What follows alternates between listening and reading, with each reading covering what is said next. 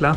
Uh, was a 30-40 minute flight. Uh, beautiful surroundings. On the flight were was me and five other Nepalese tourists, and this was the only flight uh, today. We'll get the trail more or less to ourselves.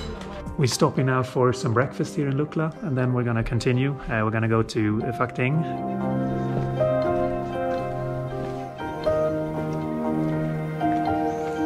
So we're at the gateway. We're leaving Lukla. We're heading off to Phakding. Three-hour walk. Feeling in good spirits. Nice, nice and warm weather. Beautiful skies. It's gonna be a great walk.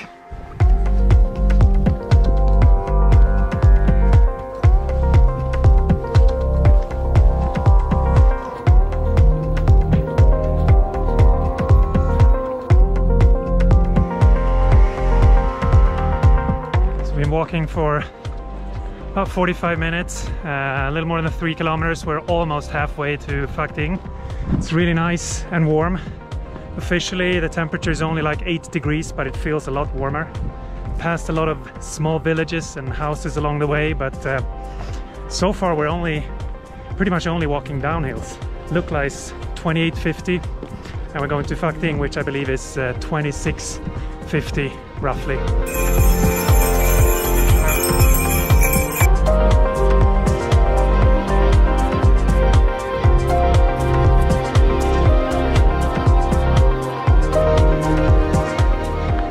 Hour 45 minutes of walking. We're slowly approaching Phakding here's Phakding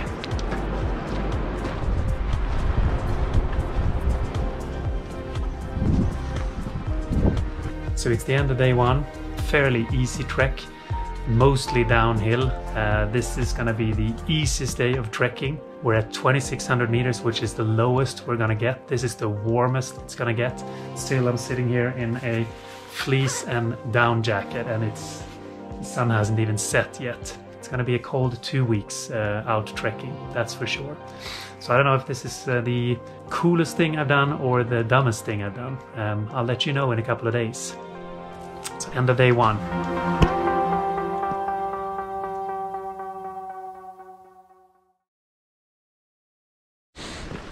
So this is day two. We're leaving Phakding elevation 2650 moving slowly to Monjo and then Jorsala uh, and then after that steep heavy climb up to Namche Bazar. In total we're moving up around 800 meters today. Still it's a gorgeous morning. Beautiful weather. Cold but not too cold. Good day for trekking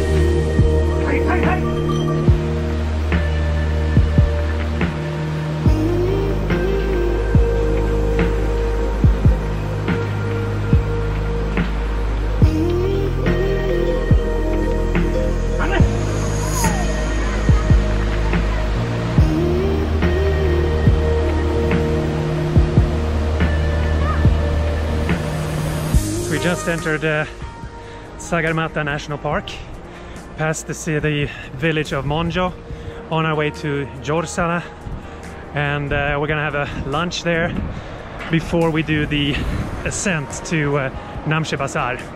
And it's an ascent of about 700 meters.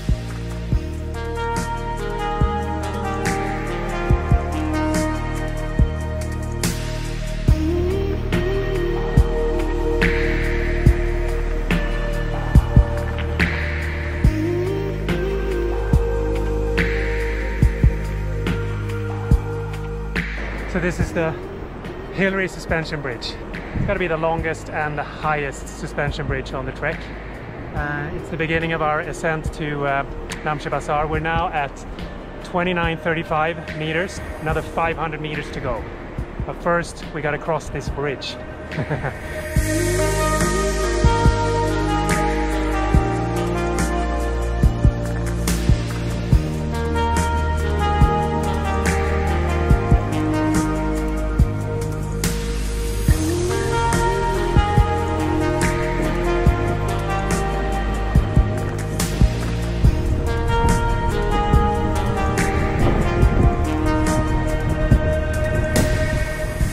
500 meters of elevation of a path like this.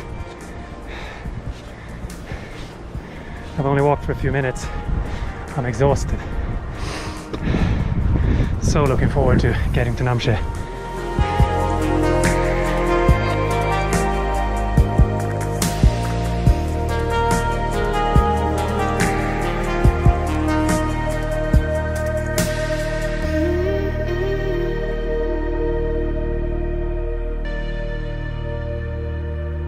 Finally, a long steep climb, and uh, we're now at the low point of Namche Bazaar, so very close now. Uh, we're at 3,300 meters, so it's about another 100 meters to go. This was a uh, difficult climb.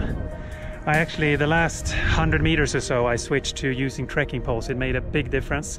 Really looking forward to rest right now. Uh, this was uh, an amazing trek, but uh, quite, quite tiresome.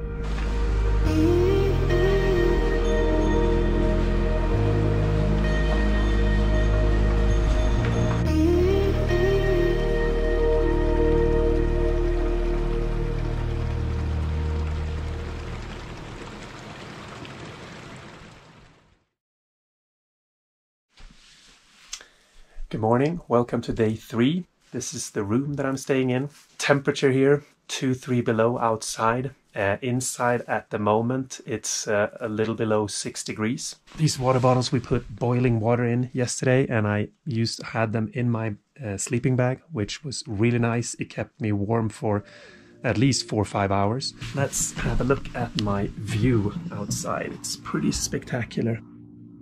Today is a day of acclimatizing. Uh, we're gonna try to get used to the altitude, so we're not gonna move further. We're gonna stay in Namche, but we're not gonna stay idle. We're going up to the airport and then continuing up to Everest View. Everest View Hotel is at around 3,880 meters. The idea here is to trek high and sleep low.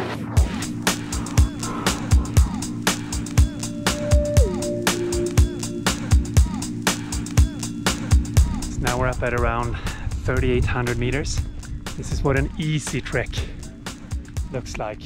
Slightly upwards. Unfortunately, most of the time it doesn't look like this. And we're starting to feel the altitude. The air is thin. It's about 65% the oxygen here at uh, compared to sea level. But look at this gorgeous view we have from here. You can see the Everest View Hotel up there on the on the ridge. Lhotse, and then you have Everest. You have beautiful Ama Dablam and Nuptse we can't see from here. Gorgeous view. Stop for some hot chocolate here at uh, Everest View Hotel, a little more than 400 meters above Namche. Absolutely gorgeous view. You just sit for hours and stare at this. Not a cloud in the sky. Day four. We're leaving in Namche Bazaar we're off to Tengboche, the Tengboche Monastery. Now we're walking on this freeway, broad, rather flat surface. Very easy, very easy for the next uh, hour or so. And then we're gonna go down and then we gotta go up again. Very frustrating, but that's the way that's the way it works. That's what trekking is all about. But it's a gorgeous morning, cold in the shadow, nice and warm in the sun. And here we are walking on this freeway to Tengboche.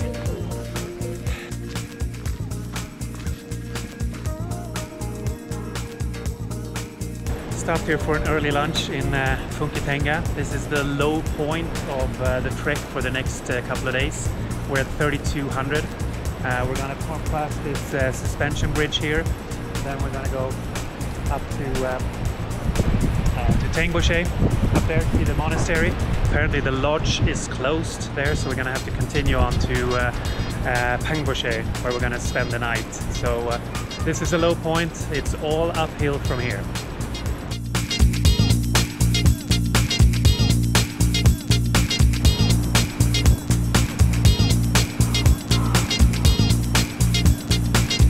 So this is what we're up against right now. 600 meters We're more than halfway now. This is better than the slope to Namche Bazaar. It's heavy, but we're, we're getting there.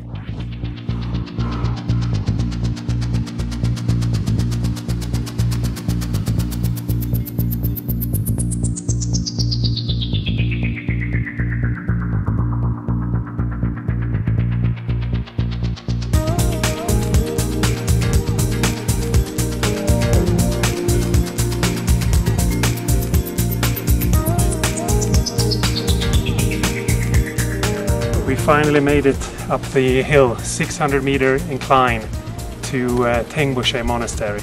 And this temple, it's one of the oldest uh, temples here in the area. It was built in the 16th century, so it's really old and certainly one of the highest elevated monasteries. Uh, we're going to continue on to Pangboche, up almost to 4,000 meters.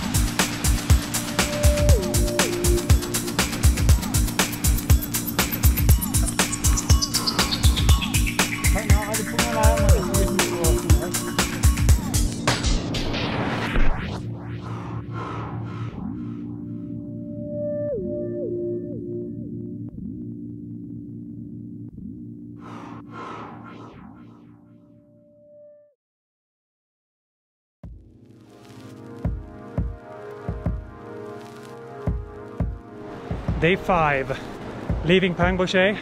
Fairly easy two hour trek to Dingboche, but we're gonna gain another almost 500 meters. Another gorgeous day. Let's do this.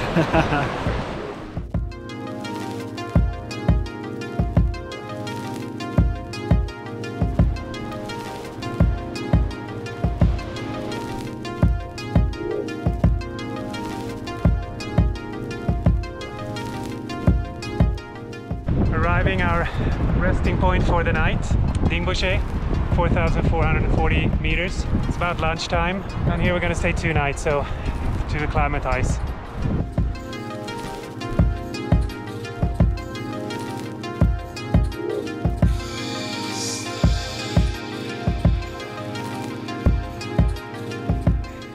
So it's day six, we're acclimatizing. Now we're just uh, walking up a peak here. Yeah, an observation point. No problem with breathing really. No headache, no uh, symptoms. Fingers crossed we're gonna keep it that way. Blue sky. Happy in the face, smile in the face. Yes. Yes.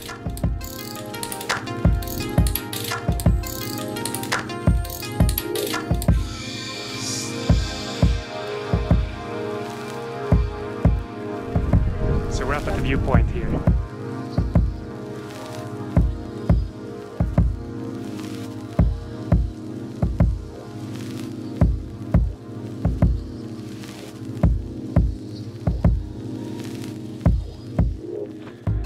Day seven, leaving Dingboche behind, heading up to Lobuche. Now we're really going to the Khumbu Glacier, which I'm really looking forward to. It's The first day we actually see some clouds.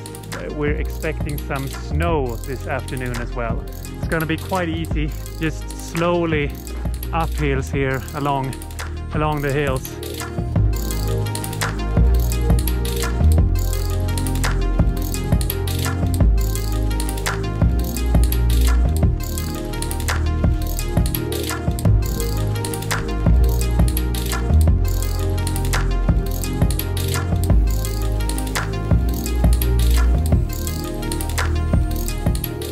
We're in uh, Thukla now. We're at 4,600. We gotta go up there, up to 4,900. Oxygen level here is a little north of 50%. So every step is challenging.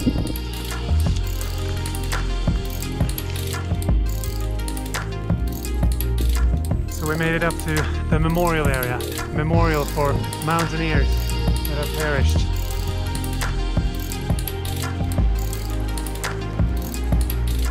So we reached Lobuche, had lunch in Lobuche, uh, decided to continue on to Gorakshep. Weather gods are not smiling as much today. Today, as you can see, we have snowfall. It's quite cold and the visibility is quite poor. Pretty good health. Took an uh, Diamox pill earlier this morning. I'm feeling the side effects of that pill. Tingling sensation in uh, my joints. But overall, good health. Breathing is not as difficult as I had thought. So next stop, Gorakshep.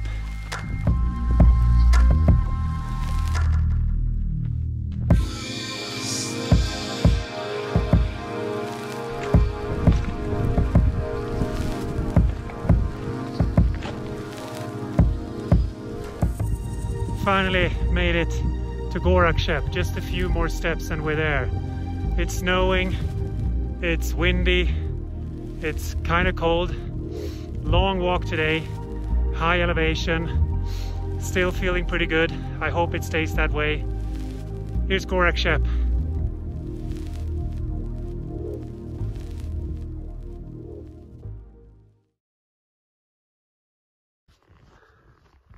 Day 8 and the day that really matters.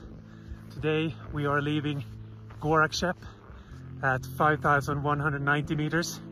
We're going to make an ascent at Kala Patthar, 5,643 meters. I'm really looking forward to this. I think it's going to be a beautiful day. It's very cold. It's probably at least 15 degrees below zero. Let's do this. This is the way.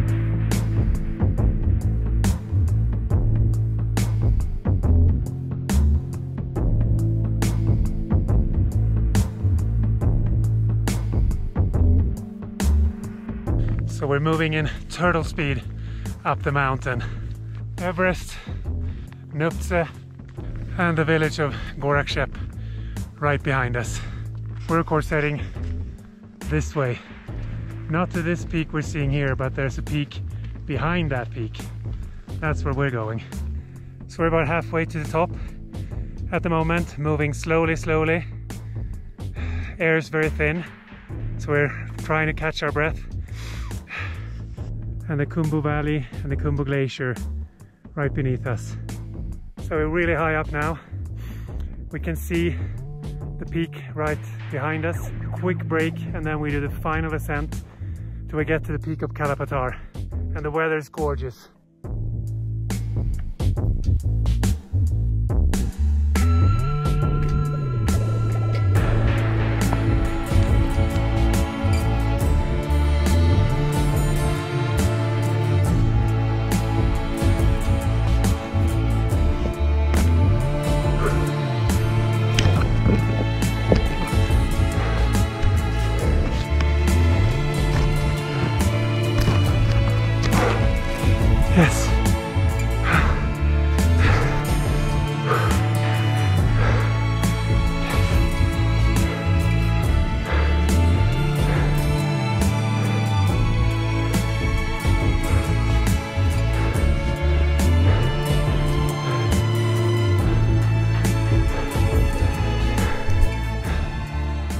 Is it, the top of Kala Patthar.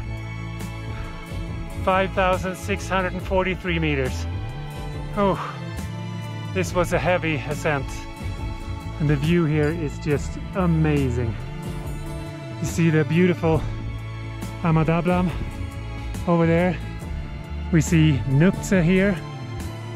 And behind it you see Lhotse, parts of Lhotse, and of course the almighty Everest.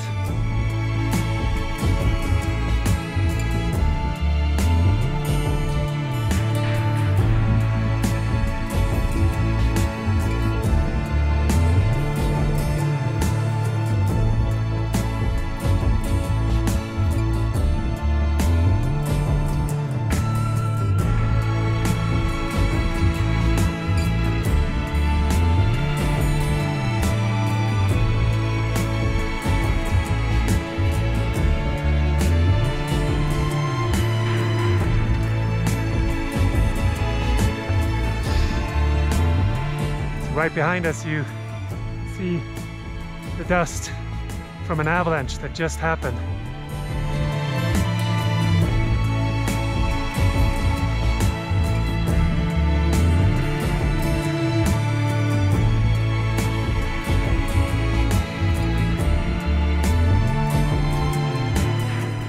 So we've just been to the top of Kala Patthar.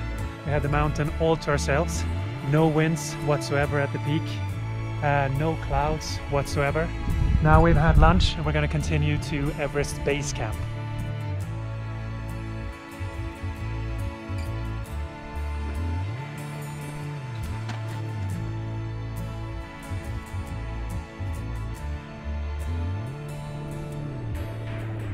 On our way back to Lobuche, passing Everest Base Camp, sort of. this is what we're going through. Somewhere here there's a path.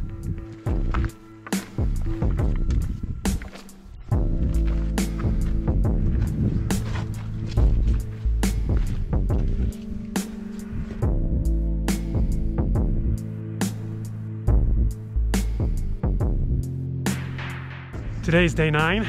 We're leaving Lobuche. Fairly short trek today. We're going to uh, Dzongla.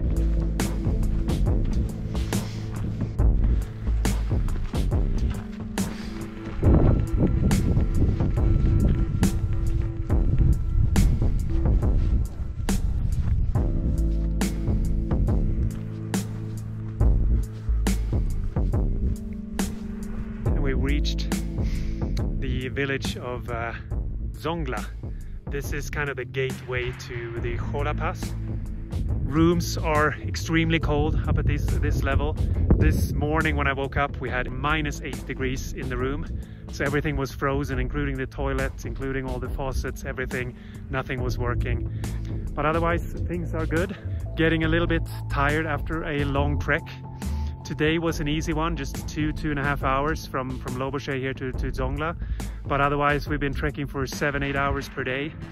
And it's um, starting to wear me out a little bit. Uh, tomorrow's going to be another really rough day, one of the roughest so far.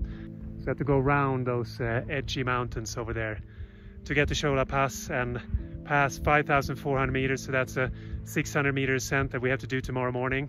Down again the same amount down to the Gokyo Valley. And we'll see if we go all the way to Gokyo tomorrow. Depends a little bit on how, how strong we are, how strong we feel after the doing the Cho La Pass. Day 10. It's a little past 5 in the morning. It's uh, pitch black outside. We're starting in Dzongla. We're gonna do the Cho La Pass, which is a rise of about 600 meters. And then we're gonna go down the same amount, continuing to Gokyo. It's uh, minus 10 degrees outside. The reason we're getting up early is uh, firstly because we have a long journey ahead.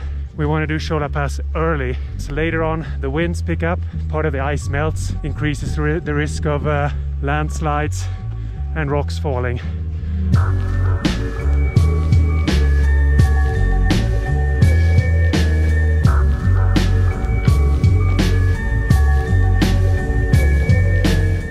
We made it more than halfway and we have a beautiful sunrise going on here as well. Look at this. So the next stage here is to climb on top of this uh, glacier here. Looks like a pretty hefty challenge. And keep in mind we are uh, well above 5,000 meters now.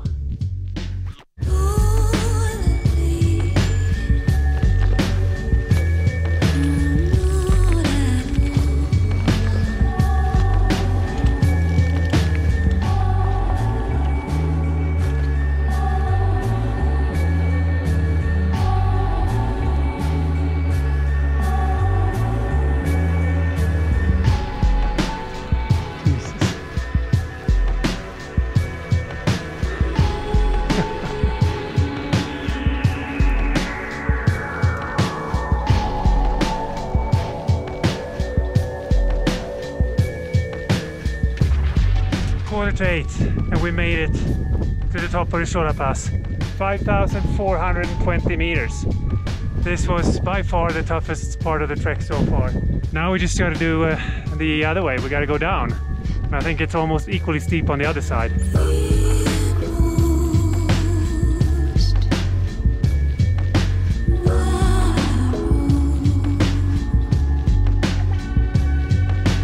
Right up there, that's where we came from.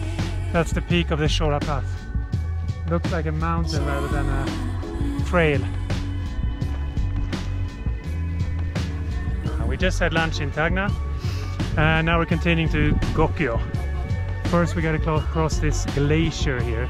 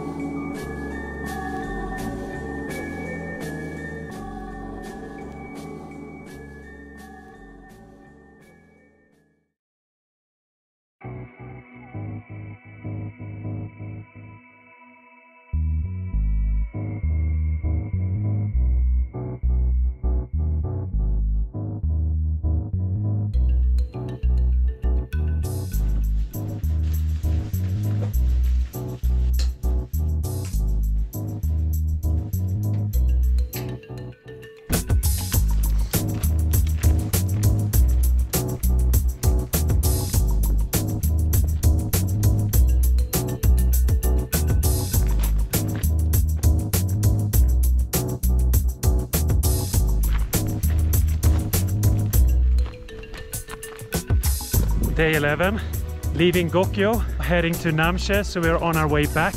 We're looking at at least seven, eight hours of uh, trekking today. Three days trek in one day.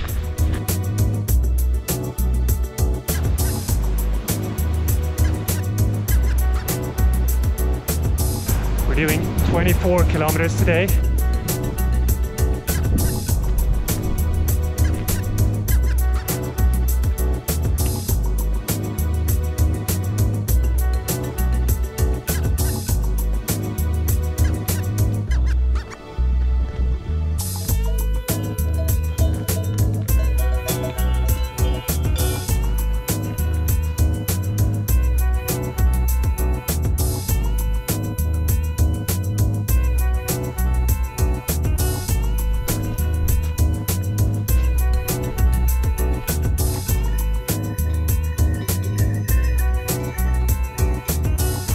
Day 12. We're leaving Namche Bazaar to Lukla. About five, six hours of trekking.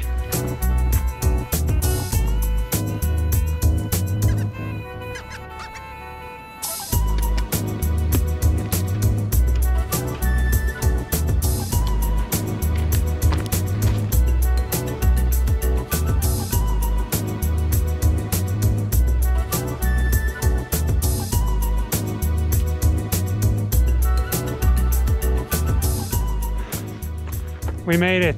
That's the gateway to Lukla. Everest, Gokyo. I'm back in 12 days. I am so tired. I haven't showered in 12 days. So good to be back. So good to be back. What an amazing experience. We're back. Haha.